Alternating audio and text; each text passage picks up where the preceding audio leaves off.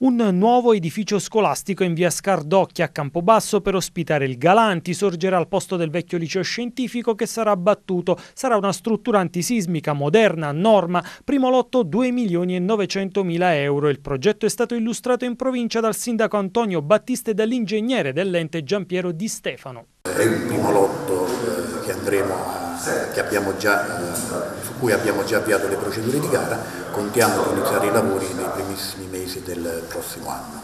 Nel corso del 2018 certamente metteremo a disposizione proprio il progetto, quindi il manufatto iniziato, di cui verrà iniziata la costruzione nei primi mesi. Per il primo lotto utilizzata una parte dei fondi derivanti dalla vendita di immobili quali prefettura e caserma dei carabinieri di Via Mazzini. Il costo complessivo della nuova scuola con il secondo lotto, secondo le stime, è di circa 5 milioni e 700 mila euro. La terza scuola che realizziamo con il sistema di isolamento sismico alla base, un sistema all'avanguardia che consente di annullare gli effetti del terremoto sulle strutture perché praticamente disaccoppia il modo di vibrare del terreno dalla struttura e quindi gli effetti, neanche quelli di secondo grado, vengono percepiti dalla struttura. E la seconda scuola sul Campobasso, la terza per quanto riguarda eh, la provincia di Campobasso come istituti superiori perché da tempo abbiamo realizzato l'Elio Romano di, di Boiano con lo stesso sistema e il liceo artistico di Campobasso con lo stesso sistema. Intanto ci sono altri interventi già decretati per complessivi 3 milioni di euro.